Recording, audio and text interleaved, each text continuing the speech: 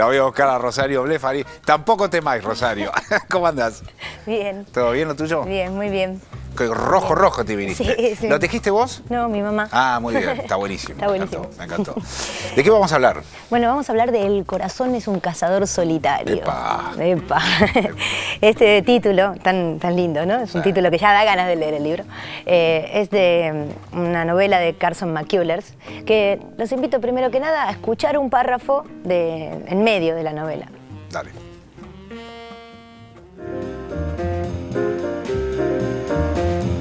Estaba reconcentrada. No había nadie en las inmediaciones. Todo estaba tranquilo y podía pensar un poco. Extrajo del bolsillo de sus shorts el paquete de cigarrillos que había comprado la noche anterior. Aspiró el humo lentamente. El cigarrillo le daba tal sensación de ebriedad que le parecía tener la cabeza pesada y como desprendida de sus hombros, pero tenía que terminarlo. MK. Eso figuraría escrito en todas sus cosas cuando tuviera 17 años y fuera famosa. Volvería a su casa en un automóvil Packard rojo y blanco, con sus iniciales en las puertas. Tendría las letras MK bordadas en rojo en sus pañuelos y en la ropa interior. Tal vez sería una gran inventora. Inventaría minúsculas radios del tamaño de un poroto que la gente llevaría encima y se pondría en los oídos. También máquinas para volar, que las personas se ajustarían a sus espaldas como mochilas y con las que se moverían rápidamente por todo el mundo. Después de eso, sería la primera en construir un gran túnel que cruzaría la Tierra hasta la China y en el que la gente podría bajar en grandes globos. Esas eran las primeras cosas que inventaría. Todo estaba planeado.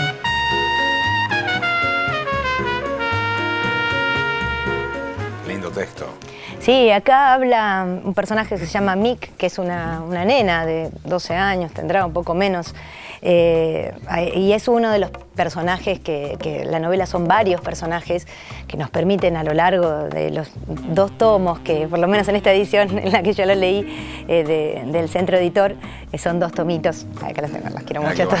sí, los quiero mucho. Están buenísimos. Y mm, bueno, eh, ¿qué estaba diciendo? Que, que en el medio, en el medio de, mientras uno atraviesa la novela, eh, va con varios personajes, eh, un sordomudo, que es, en, es una, en una pequeña ciudad del sur de Estados Unidos que transcurre todo. Al principio de los años 40, al principio de la década del 40. Voy a hablar un poco de, de la autora, que les- eso les va a dar una idea también de cómo la novela se va tejiendo. Eh, ella es de Georgia, Carson, una, mujer, ¿no? Carson McCullers. eh, y cuando le gustaba tocar el piano y iba a seguir estudios de música, en realidad, era lo que más le gustaba aparentemente, a sus padres, ese momento que uno no sabe muy bien si es por los padres o, o es de uno.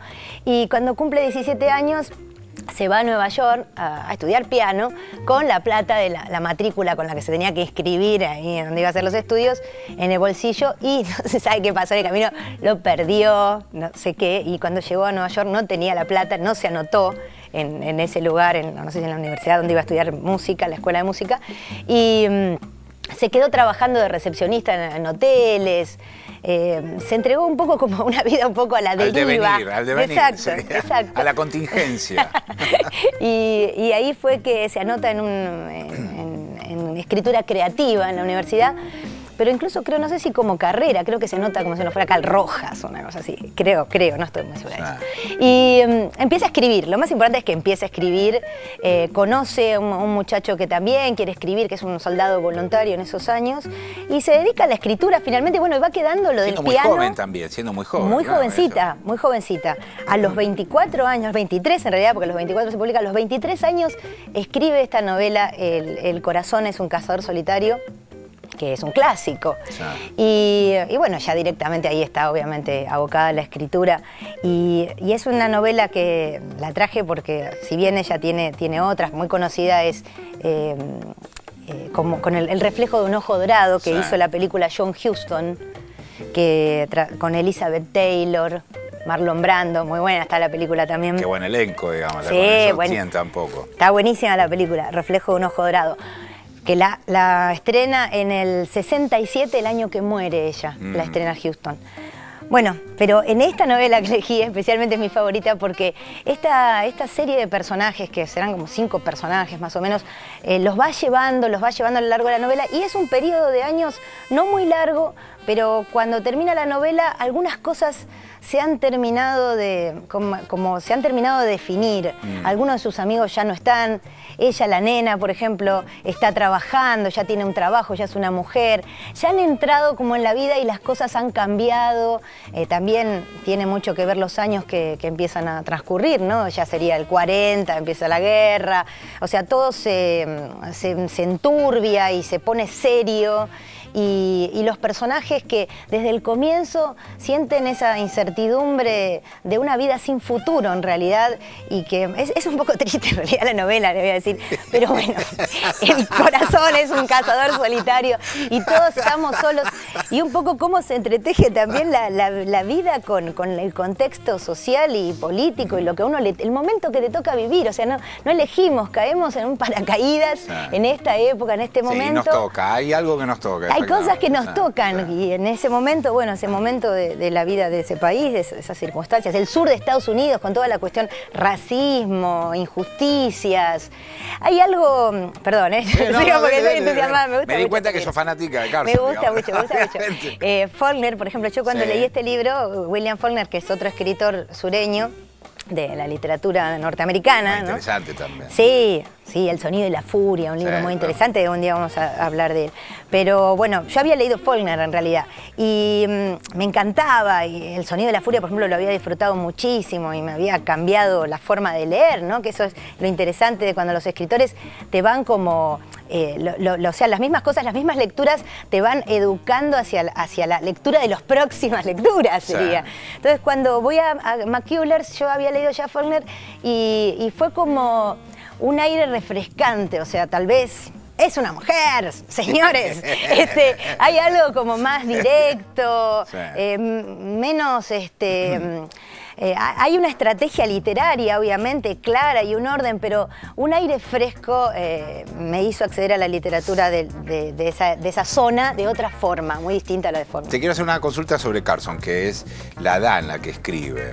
En general, por tu experiencia con la literatura, ¿encontrás que hay una edad en la cual se produce con mayor nivel literatura o en general eso es arbitrario? No, no, es, arbitrario, creo que depende y creo que se, hay, hay, gente que escribe muy bien a los 50 y hay gente que escribe muy bien a los 20. Sí, no sé, ahora por ejemplo estaba leyendo la última novela de Piglia, que es la, última, y había leído justo Nombre Falso hace un tiempo de nuevo y, está buenísima esa. Y yo decía, uy, pero no, podrás superar eso de que Nombre Falso, lo que pasa ahí.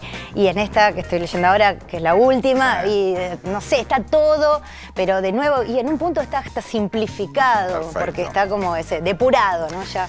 Está clarísimo. ¿A dónde hay que leer? Vamos a clasificarlo. ¿A dónde hay que leer el corazón? Sí, sí dele más. La escucho a, Mari, a Rosario, perdón, me confundí con... No, no fue, no fue, no quise meter una chica nadie. Lo único que falta. Si quieren, saber algo de los libros que escribe Marisola, ella ahora en cualquier momento aparece. Te escucho, Rosario, con tanto entusiasmo relatar cuando hablas de los libros y me quedé pensando, ¿dónde encontraste esos dos ejemplares que parecen así viejitos salidos de, esas mesas de saldo? Es una chica de batea. hicieron en Estos, bueno, yo soy también este, un poco, tengo que decirlo, no soy una ladrona de libros. ¿Ah, sí, y sí, y sí. ¿Al que, le gusta mucho algo? ¿Son de las que pedís prestado y no devolvés? Esto sí, esto era de, la biblioteca de, la tía de un, este, de un primer novio que yo tenía. Ah. y, este, y bueno, habían quedado esos libros eh, ella, ya no estaba y habían quedado, había quedado su biblioteca y ahí descubrí estos dos tomitos. Se metieron en la cartera, sí, sin querer, ¿no?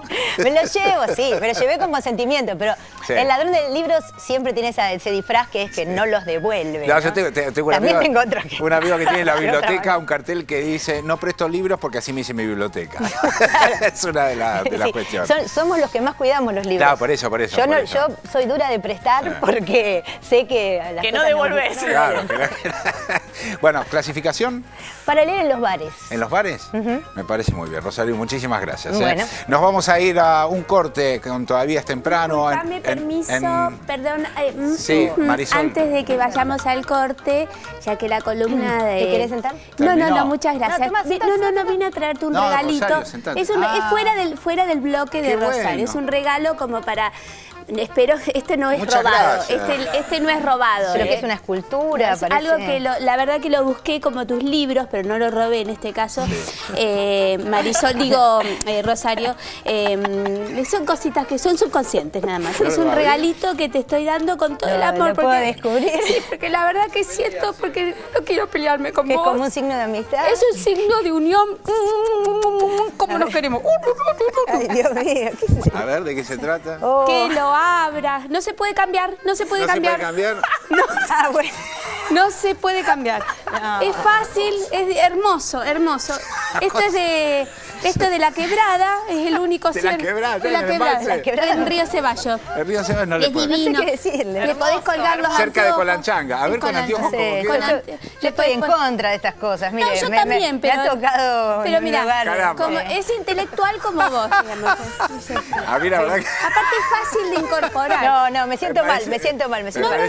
yo, a, mí yo quiero mucho a los ciervos y pero es, acá de, goma pluma. ¿eh? Sí, pero le mataron al bicho. Digan que es de No, verdad. yo Es de me voy. verdad, es de No, yo me voy porque esto es una cosa. Yo me de voy, acuerdo con esto. No, yo, yo, pará. Vení conmigo, Marisol, Green, green, green, green pin, green pin. Greenpeace, chao, vamos al corte, ya volvemos. Ya lo que-